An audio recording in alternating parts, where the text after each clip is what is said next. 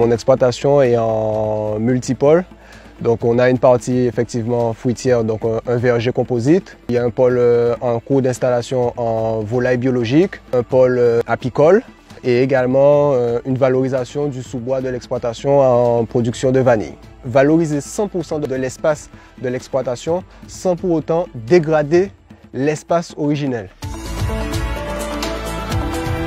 on peut observer sur mon exploitation qu'il y a une interdépendance entre les différents pôles. L'élevage volaille va apporter du fumier au végétal. Les arbres fruitiers vont apporter des fruits ensuite pour la volaille. La production apicole va me permettre d'augmenter de pratiquement 30% le rendement que j'aurai sur mes arbres fruitiers. Ce sont des éléments importants pour l'équilibre de l'exploitation. L'idée a été de créer en fait euh, un, écosystème qui euh, ressemble un peu à cet environnement naturel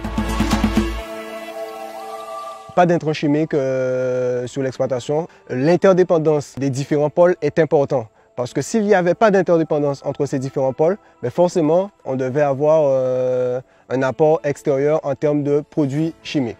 L'idée aujourd'hui, c'est euh, d'être diversifié également sur la clientèle des GMS pour le placement des produits, notamment lorsqu'on parle de volailles biologiques. Ensuite, on a eu des discussions également avec les maîtres restaurateurs de la Guadeloupe, mais également un pôle vente directe pour travailler directement avec le consommateur.